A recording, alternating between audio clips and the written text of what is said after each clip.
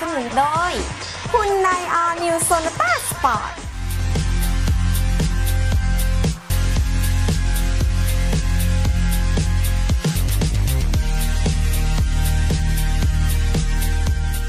ครับในในส่วนของภายนอกของโปรตอนพีเวนี่นะครับ ก็จะมีรูปร่างหน้าตาใหม่ๆ ก็จะมีกระจังหน้าใหม่ครับ ก็ซึ่งเป็นตัวที่ ค่อนข้างจะดู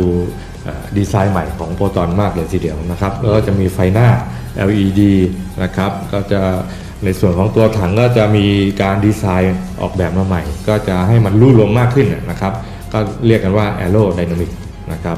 ส่วนล้อก็จะเป็นอลลอยขนาด 16 นิ้วนะครับอันนี้ก็เป็นรูปร่างรูปลักษณ์ภายนอกของของพรีเวคันนี้นะครับทีนี้ในส่วนของภายในายในของพีเวก็ค่อนข้างที่จะมีการพัฒนามาเพิ่มขึ้นนะครับ โดยเฉพาะเบาะ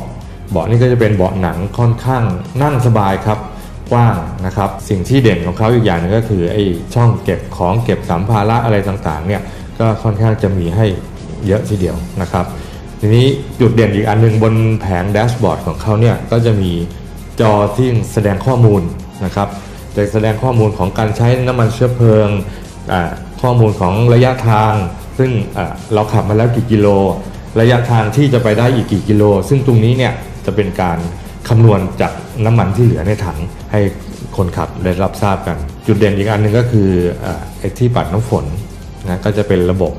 Auto Rain Sensor นะครับก็จะเป็นตรวจจับปัดน้ำฝนแบบอัตโนมัติของเขานะครับ แล้วก็จะมีระบบ Navigator ซึ่งอ่าซึ่ง เราก็คุ้นเคยกันอยู่ดีอยู่แล้วนะครับ แล้วก็จะมีกระจก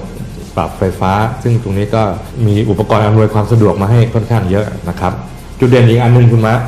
ก็จะเป็นเป็นไงครับ การสตาร์ทก็จะเป็นปุ่ม Engine Start นะครับ ก็จะเป็นไม่ต้องใช้กุญแจ ก็เป็นปุ่มสตาร์ทกดสตาร์ทได้เลยครับ ก็ถือว่าให้ความสะดวกสบาย ในเรื่องของระบบ safetyตัวถังโครงสร้างเป็นแบบนิรภัยนะครับ ระบบเบรกก็จะมีทั้ง ABS นะครับ Anti Brake System เนี่ยแล้วก็ระบบอ่ากระจายแรงเบรกนะครับแล้วก็ระบบควบคุมการทรงตัวก็คือ ESC นะครับซึ่ง